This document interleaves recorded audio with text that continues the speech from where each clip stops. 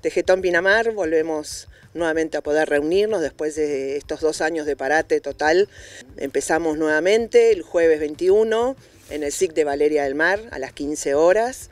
Eh, hacemos esta invitación también abierta a toda la comunidad, a toda señora, señor que quiera sumarse eh, a tejer, a pasar un buen rato, eh, siempre con este fin solidario que es ayudar a alguien. ¿Qué están necesitando?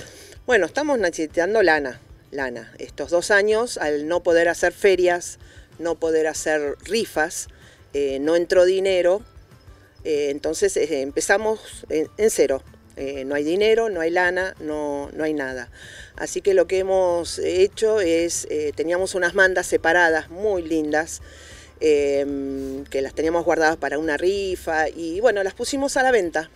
Así que con la venta de, estas mantas, la idea es poder comprar lana y el que la compre, que entienda que no solamente se está llevando una manta linda, sino nos está ayudando a nosotros a que podamos comprar más lana. ¿De qué manera se pueden comprar las mantas? Aprovecho para preguntarte de qué manera se puede colaborar, si alguien quiere donar, si tiene la posibilidad de entregar algo eventualmente que se, que se desarme para reutilizar.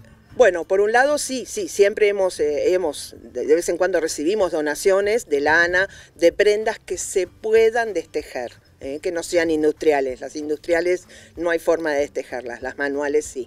Eso podemos recibirlo en el SIC de Valeria del Mar, las chicas siempre divinas nos hacen ese favor, eh, a través de Tejetón Pinamar en el Facebook, a través de mi número de teléfono eh, 02267 15 63 60 26.